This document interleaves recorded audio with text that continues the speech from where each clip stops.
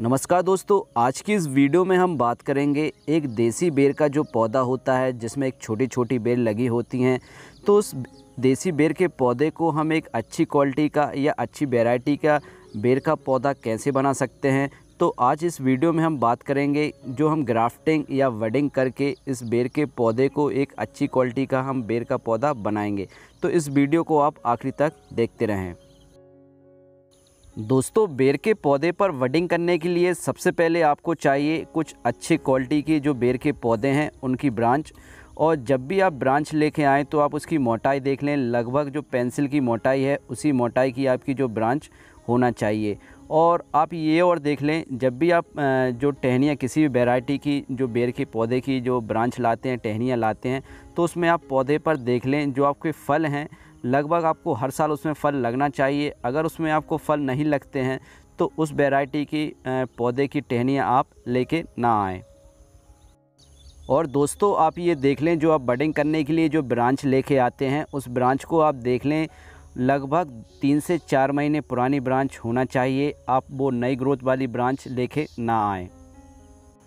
India में बेर के पौधे पर बडिंग करने का जो सही समय है, वो हमारा जुलाई अगस्त, सितंबर, इन महीनों पर हम बेर की बडिंग बहुत ही आसानी से कर सकते हैं और जो हमको रिज़ल्ट है हंड्रेड परसेंट मिलता है।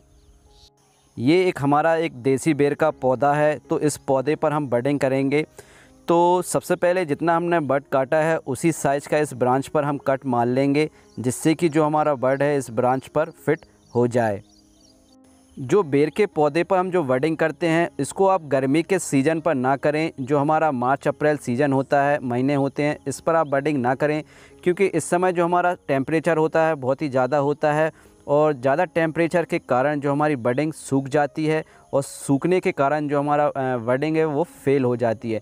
तो इसको आप ऐसे मौसम में करें, जहाँ पर आपके मौसम में नमी बनी रहे और जो आपका टेम्परेचर है, लगभग 25 से 30 डिग्री का आपके टेम्परेचर हो, तभी आप इसको बडिंग कर सकते हैं। तो इस ब्रांच की जो ऊपर की छाल है, वो हम निकाल लेंगे और इसमें जो हम वर्ड है फिट कर देंगे।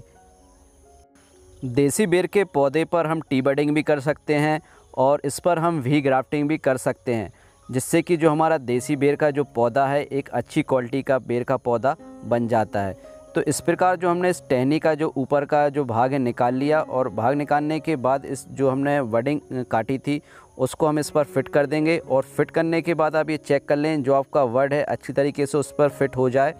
और इसके बाद ये आप एक पॉलीथीन लें और पॉलीथीन से इसको आप अच्छी तरीके से टाइट बाँध दें जिससे कि इसमें हवा या पानी इसमें ना जा पाए।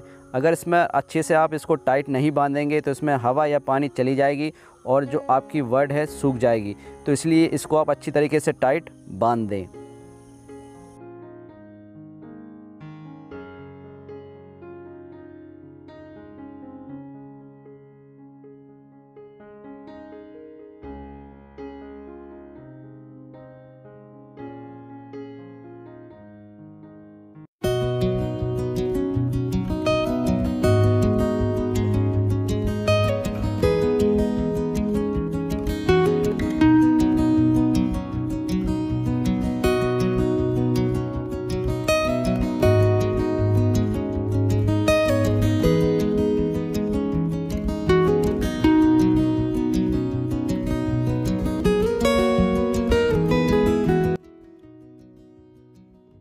दोस्तों, लगभग एक महीना हो चुका है इस बडिंग को करे हुए और जैसा कि आप ये देख पा रहे हैं, इसकी अच्छी तरीके से ग्रोथ हो रही है।